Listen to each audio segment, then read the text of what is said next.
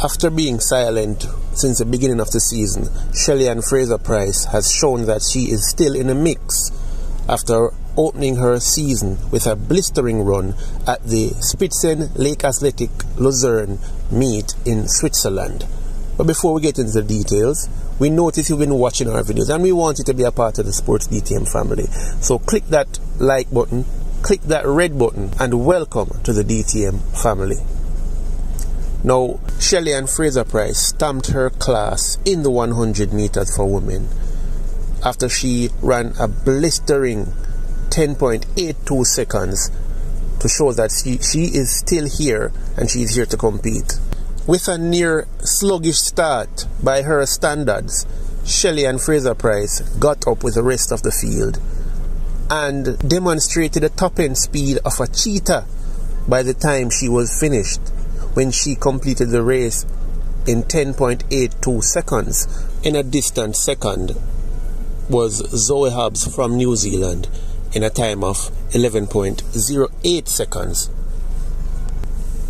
In third place, it was Kennedy Blackmon from the United States of America who finished in a time of 11.11 seconds.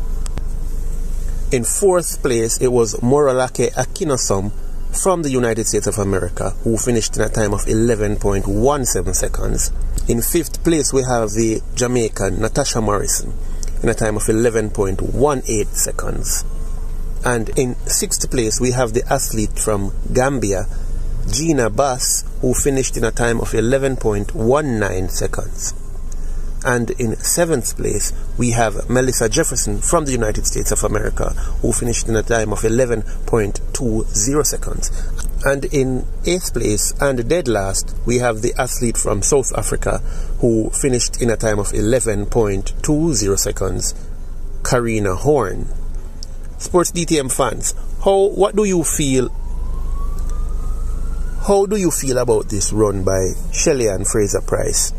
Are you impressed by how she started her season? Can she go faster? Will she challenge for the title this time around? Leave all your comments in the comment section below and let us know how you feel about this run by Shelly-Ann Fraser-Pryce season opener. Thank you for joining us one more time. And don't forget to tell a friend to tell a friend to tell all of their friends to come and join the Sports DTM family. And as always, be blessed.